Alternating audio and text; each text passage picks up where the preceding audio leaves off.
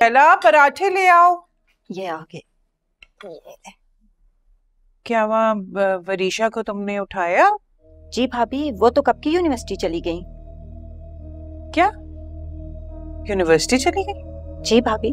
कब गई? मैंने तो देखा नहीं। ऐसा तो नहीं कि कोई और बात हो। मतलब? नहीं मेरा मतलब है कि ऐसा ना हो कि वरीशा नाराज़ होकर गई हो? ऐसे कल से नज़र नहीं आई मुझे। वो यूनिवर्सिटी से वापस आया तो ज़रूर पूछ लीजिएगा। हो सकता है किसी बात पर परेशान हो शेयर ना कर पा रही हो। जी मैं पूछती हूँ। अरे हाँ सच मुझे याद आया आज। वो आज का फाइनल सेशन था।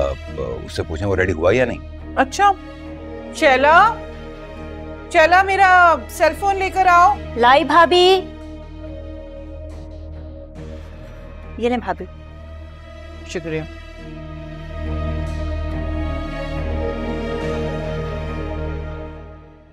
अस्सलाम वालेकुम मॉम अस्सलाम डैड वालेकुम अस्सलाम बड़ी लंबी उम्र है आप लोगों की मैं आप लोगों को ही कॉल करने वाला था। बेटा तुम्हारे बाबा ने बताया कि आज तुम्हारा लास्ट सेशन है। हाँ भाई कैसा चल रहा है? जी इट्स गोइंग ग्रेट बस दुआ कीजिएगा आज फाइनल प्रेजेंटेशन है। बस अल्लाह ताला उसमें कामयाब करे। आमीन। इनशाला इनशाला अरे यार वो तुम्हारे प्रोफेसर थे शमसी। जी जी। क्या हुआ उन्हें? खैरियत है ना? अरे नहीं भाई हुआ कुछ नहीं है। एक्चुअली वो वरीशा से तुम्हारी बहुत तारीफ़ कर रहे थे। बल्कि तुम्हारी वजह से उन्होंने वरीशा को बहुत फेवर भी दिए।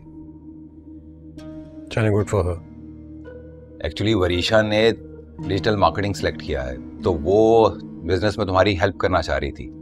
जब तुम वापस आओ तो तुम पढ़ाई में उसकी मदद करना और फिर जब ऑफ़िस जाओ तो उसको अपने साथ ऑफ़िस लेकर जाना ताकि वो भी काम सीख सके। अब उस मासूम को बिज़नेस बिज़नेस में लगाने की क्या ज़रूरत है? अरे भाई आप दोनों काफ़ी हैं ना? वैसे भी शीनी ने बहुत अच्छा लड़का देखा हम बहुत जल्द जाने वाले हैं उससे मिलने। क्या क्या मतलब है? वरीशा के रिश्ते की बात चल रही है। घर में इतना सब कुछ हो रहा है और आप लोगों ने मुझसे डिस्कस भी नहीं किया। अरे भाई अभी सिर्फ़ बात चल रही है। तुम आओ तो बात आगे बढ़ाएँगे तुम आओ तो हम साथ ही चलेंगे। खुश? बस तुम अब खैर से आओ। और मैंने तो बी जान को कह दिया है भाई कि मेरी एक बेटी जाएगी एक बेटी आएगी। भाई मैं शिफा और वरीशा की ना शादी एक साथ करूँगी दोनों की सात रस्में करूँगी। जैसे आप लोगों को बेहतर लगे। अच्छा सुने अब मेरी प्रेजेंटेशन का टाइम हो रहा है मुझे ऑफ़िस के लिए भी निकलना है।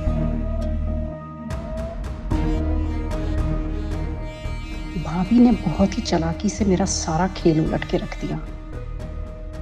कुछ ना कुछ तो करना होगा मुझे।